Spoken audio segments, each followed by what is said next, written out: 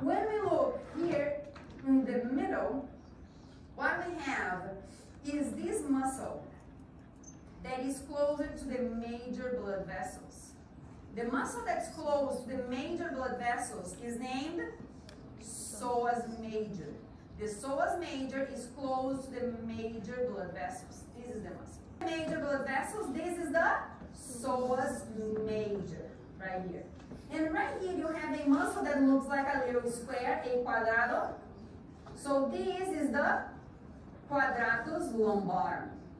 Psoas major is the one closer to the major blood vessels. When you look at the iliacus and the psoas major, you see this is the ilium, the iliac crest of the ilium. Iliacus and psoas major, they will get together, major getting together, you end up with the iliopsoas. Iliacus and psoas major together.